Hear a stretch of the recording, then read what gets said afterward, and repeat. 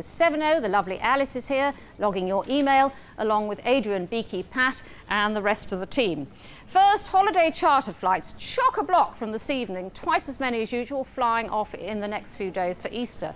But tonight, please pay attention if you're five foot nine and a half or more. Five foot nine, by the way, is the average male height. But the design for airline seats is actually based on measurements from 10 years ago, when quite literally men were smaller.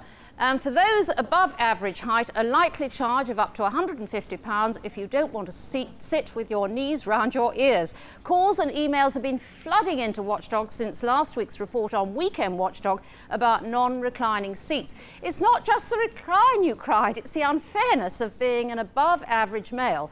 Well, in fact, we first reported on the tall people's tax 17 months ago when it was introduced by Britannia Airways. Panorama presenter Vivian White demonstrated he's six foot seven and a half. And when I found the seat, it was as bad as I feared.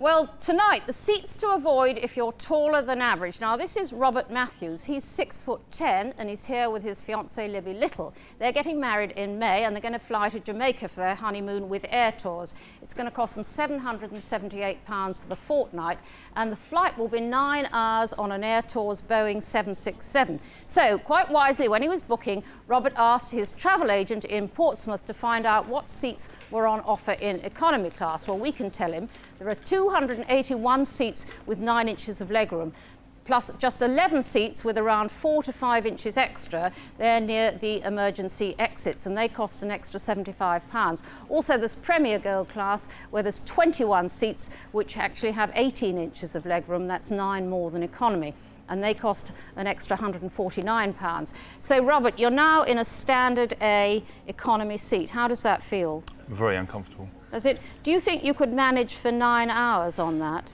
No, not really. I'd have, think I'd have to take my legs off and put them in the cabin above. Right, OK. Well, that's not a very satisfactory solution.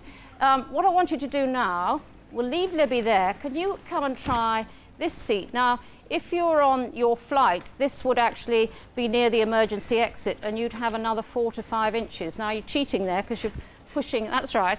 How's that for a flight for nine hours? Not really any better than the seat behind. Right. So you wouldn't pay the extra money for that? Definitely not. So what's been your solution? Well, the only solution is to go to the extra legroom seats, um, the premium gold seats, which right. is an extra £150 each. Right. I bet that was Libby's decision, was it? Definitely. OK. So there, what you'll get actually, you'll get more legroom, you'll get a wider seat, and of course you'll get newspapers and um, free drinks, and uh, you'll get a personal screen, won't you, to watch uh, the movie. Yeah. OK, thank you very much for coming in and have a wonderful honeymoon.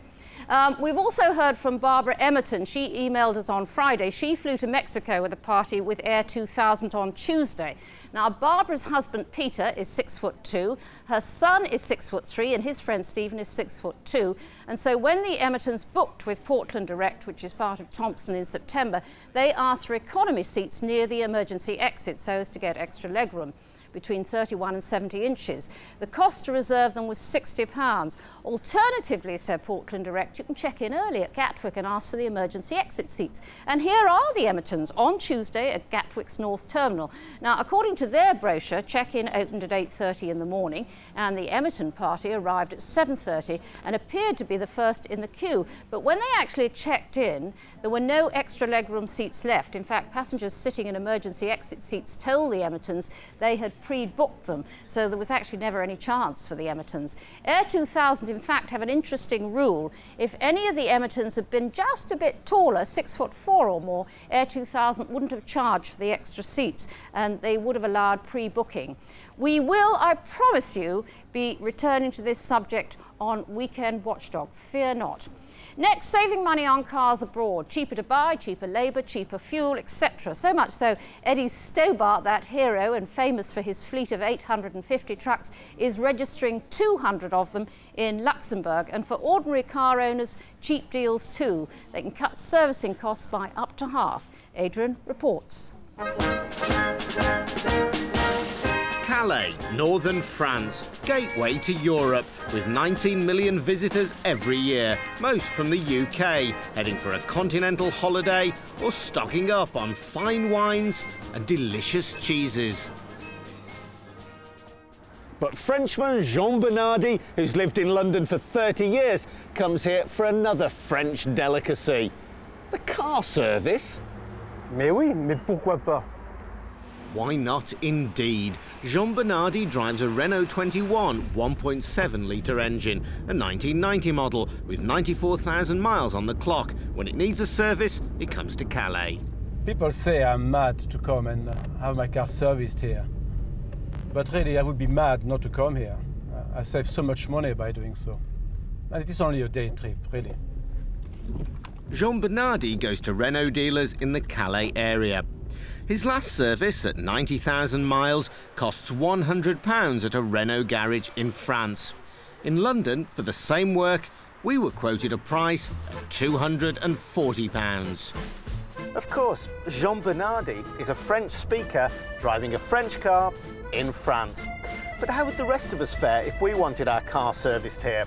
Well, I've crossed the channel equipped with nothing more than my handy French phrase book. And I'm driving a very handy non-French car, a Mercedes. Just like yours, Annie. Most of the major car companies have authorised garages within easy reach of Calais port. The Mercedes dealership is around a 20 minute drive from the centre of town. Excusez-moi, monsieur. Bonjour monsieur. Je ne parle pas français. Je suis English. Oui. Euh, je voudrais un service pour the car. Ah, you want to get your car serviced here? Yeah. Is that what you want? Yeah. Okay. Oh, absolutely no problem. If you come with me into the office, I will get you a quote. Okay. Brilliant. Of course, if you have a major problem with your car, a day trip may not be long enough. But a service usually takes about three and a half hours. Time to nip into town in my courtesy car and a chance to get to grips with French literature. And then pop into the patisserie to sample the local cuisine. Before giving the locals a lesson in boule.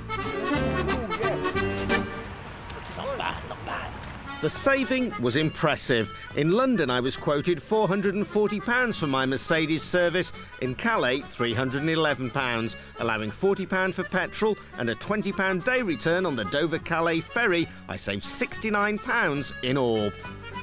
We also compared service prices at authorised dealerships around Calais and Dover for other cars. Chrysler's 4 litre Jeep Wrangler, French service, £88 cheaper. A Mazda MX5, £131 cheaper in France. And our biggest saving on a Peugeot 306 Cabriolet, £135 leaving plenty of cash for Jean and I to enjoy some of the finer things in France. Santé! Santé. Another nice trip he's had. Now, in total, we had a look at service charges for seven popular makes, and apart from a Renault quote we got from a dealer in Dover, all the servicing was cheaper in France. And you've got some more details there. Well, that's right, Andy. The manufacturers say they can't tell garages how much to charge. They can only give a, a recommended price for a service, but it's ultimately up to the garage to set the final figure. And a case in point is Renault. Remember, Mr. Bernardi's service, much cheaper in Calais than in London. But Renault point out that he needn't have gone to France. He could have got an even cheaper service in Dover, just £92. But Dover's probably not such a good comparison, is it? Because Dover probably have to compete. They're aware they're competing with Well, France. indeed, and interestingly enough, we contacted Renault dealerships today in Birmingham and Newcastle, and both quoted more for Mr. Bernardi's service than his garage in Calais did. But a handy tip too from Chrysler. They say if you are prepared to cross the water for a service, why not try the Shetland Islands? Cheaper even than France. Oh, ha, ha, ha. We like the Shetland Islands. we love the Shetland Islands, but not to drive all the way there to have our car serviced. Just trying to stop you getting into trouble from all the people who live on the Shetland Islands. we love the Shetland Islands.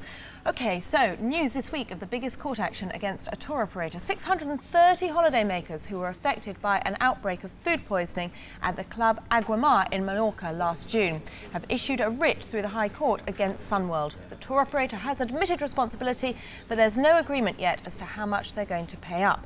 Sunworld told Watchdog today that the illness was an isolated incident, and both the hotel and themselves have gone to great lengths to prevent a recurrence. A team of hygiene consultants inspected the kitchens following the outbreak and will do so throughout the summer season. We'll keep you up to speed on how that court case goes. It's an isolated incident uh, involving more than 600 people. I wasn't going to say anything. Shall I give you some quick emails? Yeah. Barbara Thomas from Coventry has just emailed. She says we're pleased. She's pleased we've covered the air tour seating arrangements. She's six foot tall and usually asks for an aisle seat, but this time was charged twenty pounds. She says they make her feel like a freak. Mark Saunders emailed to tell us about Debonair, whose mission statement is Our airline is founded upon the philosophy there's nothing that cannot be done. But they cannot or will not change the name on his flight ticket to Nice, not even with an admin charge. The seats now run out, and they won't even let bu him buy back his own seat under a different name. And um, Andrew wants to know if we're a mother and daughter team like Nanette Newman and Carol Vorderman. They're not mother and daughter. Anyway, he's had a bet. We're not. You lost your bet. Sorry. It'd be very nice to have as a daughter. In a minute, Barratt's waterlogged gardens. Nothing to do with us, said Barratt. Beaky flies to the rescue. Now, before that, Oakley sunglasses, uh, 16 designs, prices range from 55 to 200 pounds. Very cool. They suit me. I can't tell. It's dark in here. Anyway, these are eye jackets. Uh, one of the most popular. They cost 80, but there's a snag. Alice reports. The thing is, if you want to be cool, you've got to look cool. Get your image right. When you're trying to live life to the max, you need shades that meet the challenge. This group of friends from Gloucestershire chose Oakley's eye jackets, the trendiest glasses on the slopes. Or anywhere, actually. Eye jackets are designed for sport. They look good, but can they stand the pace? One in 20 pairs goes back to the shop with problems. And it's no joke being without your sunnies. First of all, the lenses popped out, um, so I sent them back. They've broken three times, um, three times in the same places. The two main problems being broken arms uh, in two places. My sunglasses have broken twice on either arm, at the top where it joins the main frame, underneath the rubber seal where the plastic actually goes quite thin. I've had my glasses about six months. Uh, they snapped within three months. I go surfing, snowboarding, skiing, so they were supposed to be ideal. However, they do keep breaking, and to be quite frank, it's just not good enough. So, what's the problem? Oakley says their eye jacket sunglasses are specifically designed to sit on the nose with the earpieces behind the temple. Naughty, naughty, put those glasses back on your nose. Whoops. Now, I know I'm not the only one round here who wears her sunglasses on her head. Excuse me. Excuse me, madam. What do you think you're doing? They shouldn't be up there. Why are you wearing your sunglasses up there? Because it saves me putting factor 10 on my hair. And you lot too. Get your sunglasses down on your noses. All miss. models, all posh people wear them up there. Well, you're not posh. You're from Southport or somewhere. Liverpool, so put them down. Blundell Sands. Far from Blundell Sands, this is the Alps. My Oakleys are still in one piece, and I'm off to do a spot of snowboarding.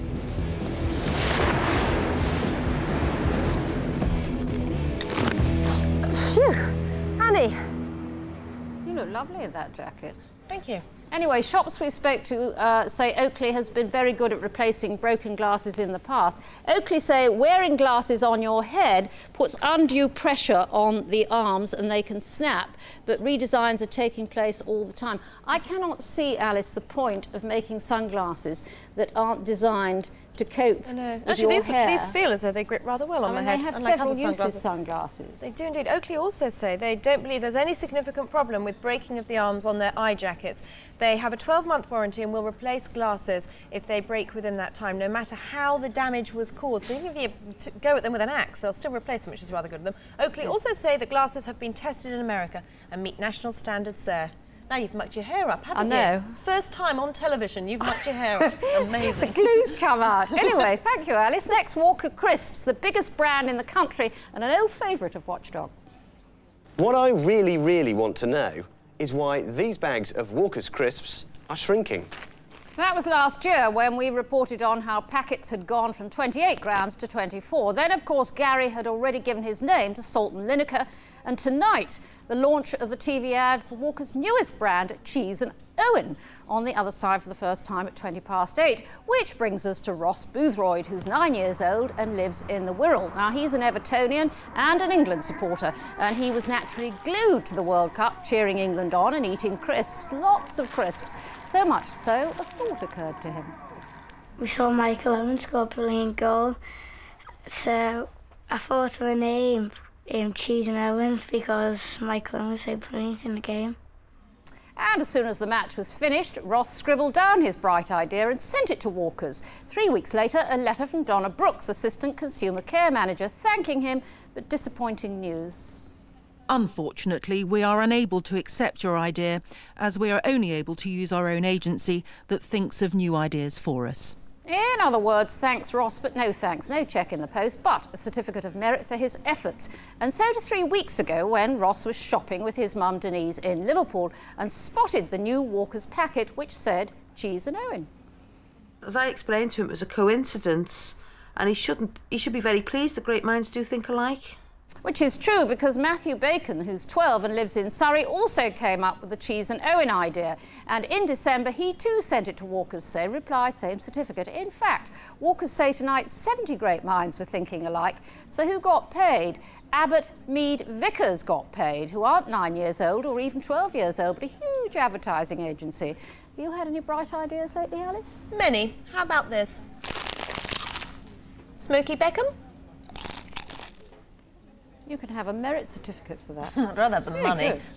rather have the money. They won't pay you. No, never mind. Okay, very clever.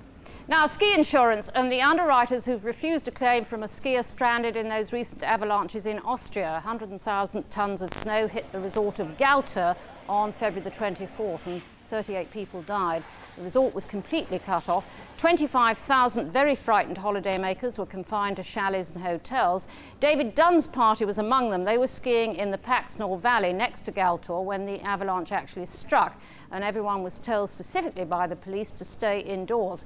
In fact, the Dunn party couldn't get out for seven days, and they were eventually airlifted by the Austrian army, and they were indeed very grateful and relieved to have survived, but the extra seven days had blown their budget.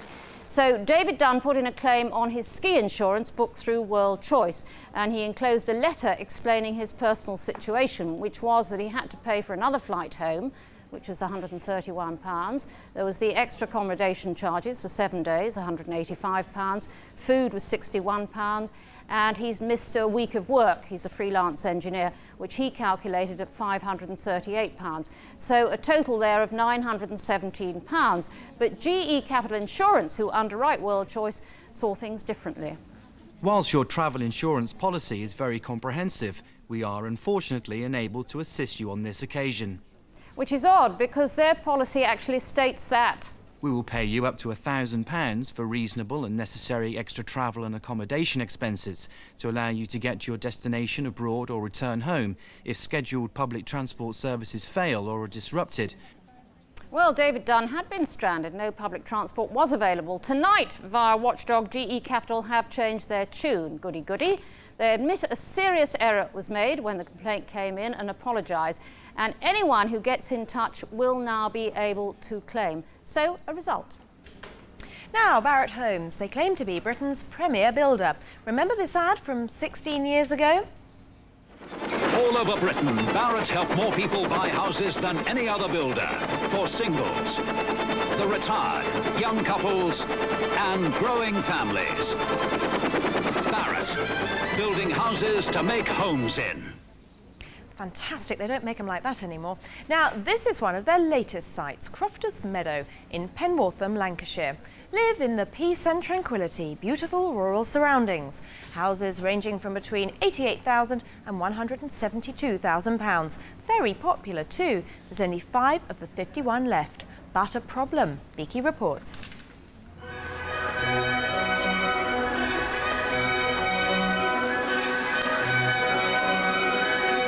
This week, Watchdog have sent me on a very important mission off to the Lancashire countryside, just south of the River Ribble. I've been dispatched to have a look at some very soggy gardens. I get all the fun jobs. And here we are at Crofters Meadow. At number 51 in this £110,000 house lives Alan Lucas. He bought it in May. We wanted to move into an area that was quite unspoilt and in the country. And uh, when we first looked at the estate, we saw the development and saw that the road was going to be called Meadow Leach. Alan didn't think it was a very nice name for a street. He applied to the council to have the name changed to Meadow Reach. They did just that. But the old name Leach came back to haunt some residents. You see, leach also means to pass water through something, and in this case, it was Alan's garden. His children love it. They enjoy playing football and even the odd bit of fishing. But their dad hates it. I just can't do anything about it. I mean, I've tried raising the borders, I've added lots of soil to the garden to raise the levels. I've even had to dig a big hole in one corner of the garden for the water to drain away into, but I end up just emptying that every weekend and it soon fills up again. Alan phoned Barratt's in September. He was told he needed a drainage system, but Barratt's refused to pay for it. His garden got worse, so in January he wrote to Barratt's. They said that according to the National House Builders Council, the NHBC, Barratt's don't have to pay up unless the water problem is within three metres of the house. Then Alan got in touch with Watchdog.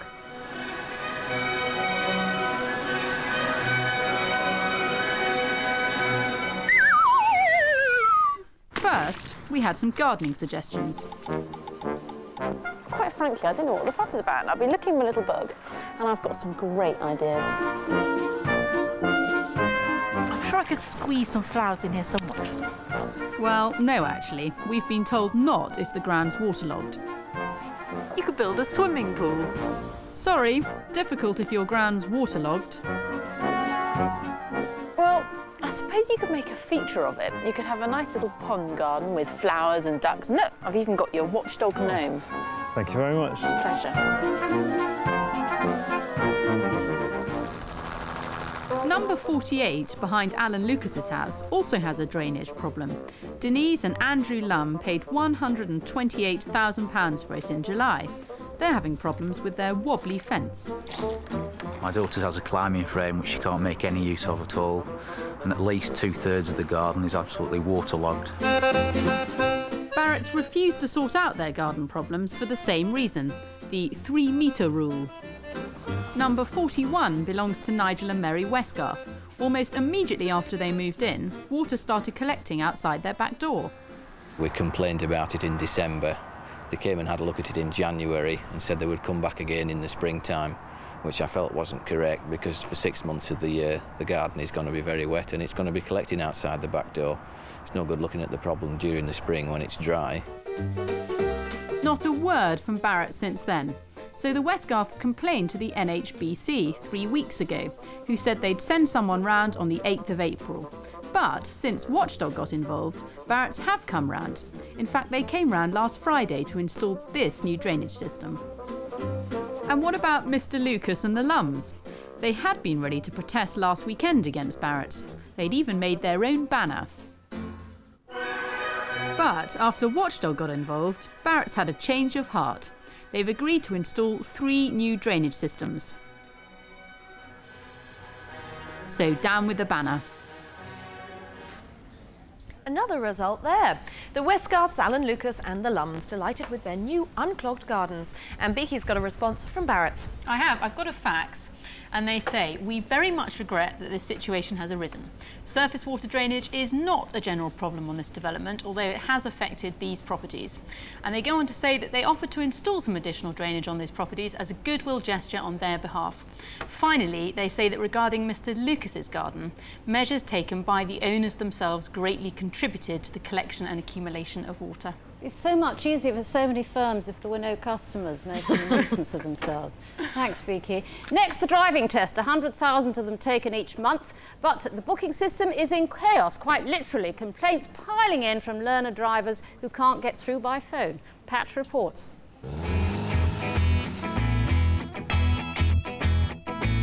Swati Bagat has been fitting driving lessons around studying for her A-levels. Last month, she failed her practical test, but is now ready to give it another go. The easiest way to book is by telephone, and the Driving Standards Agency has one number for the whole country. I've been ringing up about 10 times every day for about two weeks now, and I just can't get through. It's either busy or you get through to the answer machine. Please hold while we transfer you. And it cuts you off. Out of all the times I've rung, I've got through twice. The guy at the other end just said, oh, well, our computer systems are down and I can't book your test. I'm scared the longer the gap is, the worse my driving's going to get. Tristan Stevens is also an A level student and has been calling four times a day for the last week to try and book his test. My instructor says I'm ready to take it now, but if I leave it any longer, I'll be getting overconfident and start developing bad habits. Trainee Alison Durkin has also been having difficulties. We've been ringing the phone number up to 25 times a day, and it's just getting ridiculous. The Driving Standards Agency appears to be well aware of the situation. On March 22nd, it sent a letter to all approved driving instructor associations. In it, it said that the problems have been caused by the installation of a brand new computerised booking system. This has had, in their own words, a number of teething problems, exacerbated by the fact that each call takes about 50% longer to answer, due in part to people asking about the new driving test. Also, during the first week of the new system, the Driving Standards Agency reduced the advance booking time for a test from 10 to 8 weeks, which caused pent up demand. The result? On occasion, over 10 times more calls to the booking line, with much less chance of you reaching an operator. The solution, said the Driving Standards Agency? Stop repeatedly redialing. They'll receive fewer calls, the phones won't be engaged as much, and you'll be able to get through. It's another outfit with customers who are a nuisance. did you pass your driving test first time? Of course. Did you? Yes, of course I did. Did you, Adrian? Vicky? Pat? Oh. Sack 'em. Now, um, a bit more on driving tests from Merope Mills. I don't know if that's a, a female or a male, actually. M-R-E-R-O-P-E, very unusual. He passed his test last December after three tries and about a thousand pounds worth of driving lessons. This morning, he got a letter from the Driving Standards Agency saying his examiner had been found to fail to maintain the pass requirements indicated by the Department of Transport and that his driving licence had been rendered temporarily invalid until he takes and passes another test. Oh. That's rotten. He's a final, a finals student. He can't get through to the head office to book one. Fenella Oatley on airline seats. This is pure genius. Her and her husband are tall, five foot eleven and six foot tall. She says they wait until the safety video's on, and then they say to the stewardess, "We can't safely assume the crash position in these seats because we're too tall." And every time she says it works.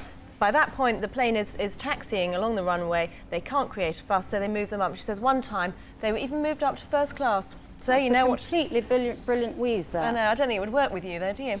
Oh, I don't know. no, quite good. Thank you. Anyway. Thank you, Alice. That's it for this evening. No weekend watchdog tomorrow, but back next week, and we'll be here on Thursday. Until then, from all of us on the team, especially Alice, good night. Next tonight on BBC One, will Grant turn up to the wonderful wedding of Walford? EastEnders next. And BBC Two is following some of Britain's most talented design graduates in making it in a couple of minutes.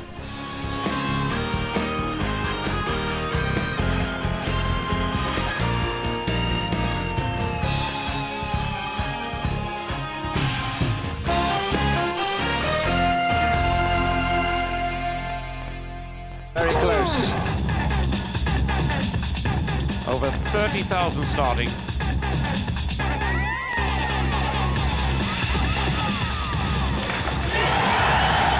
Join us live throughout April on BBC Television and Radio 5 Live. Good Friday's big movie now on BBC One, starring Tom Cruise and Nicole Kidman. Far and away.